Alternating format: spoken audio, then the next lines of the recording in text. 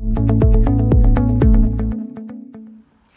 guys, Naomi Findlay here, Australia's rapid renovation expert. And today I want to talk to you about the importance of strategy. Many of you have heard me speak previously about the importance of having a, a honed area or a patch that we focus our property search on.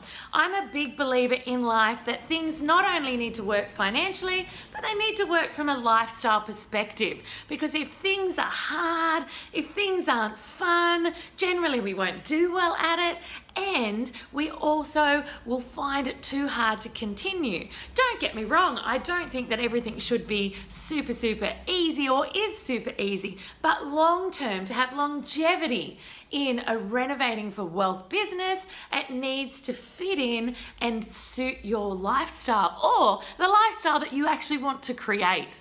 And so after you've honed your patch, it's so, so important that you fit it in with your strategy or you have a strategy. Now, there are a pile of things that go and weave into what makes up your strategy in a certain patch. And the one I want to talk to you about today is your own variables. That's right. So you are accounted for in regard to the strategy that you're going to be taking when you're renovating. Now, there's quite a few things that are involved in this strategy. Actually, many, many things. I want to talk to you about four, the four top things today. So number one is your knowledge. Do you have the knowledge or do you know where to get the knowledge?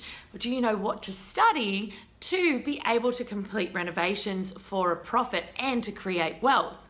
So is this limited to cosmetic renovations or can you find or do you have the knowledge to maybe complete some larger scale renovations? Number two is your financial position, guys. Check out your financial position. Do you have money partners you can work with? Are you able to leverage against existing assets? What is your financial position before you get started?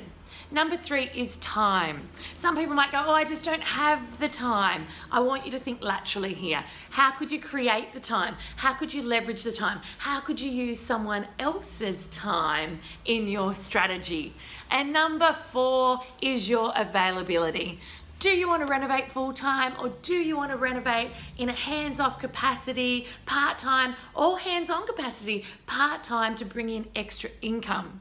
So, guys, these are four of the many, many things your knowledge, your financial position, your time, and your availability. Four of the things that just build up your variables in regard to what your strategy is. So, remember, guys, you need to think about what will suit your lifestyle or what you want your lifestyle to be like and create it.